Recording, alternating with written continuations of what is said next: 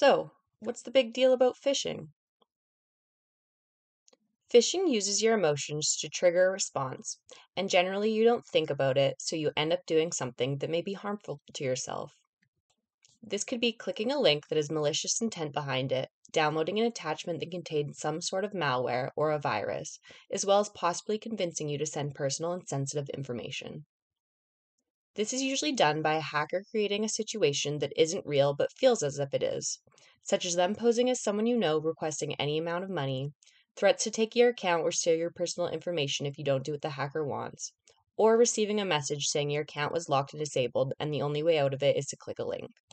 It only takes one click for you to fall victim to a phishing scam, so make sure that you are aware and conscious of all your online activity and messages you may receive. Falling for a phishing scam may result in identity theft or loss of money and hardships. Hackers have no bias and they will attack regardless of age, social status, and other factors. The only criteria is someone who operates online, so make sure that you're educated on the dangers of these attacks because that is the key to cybersecurity. Follow KidsSHIELD for more cybersecurity content. Be educated, be connected, and be safe.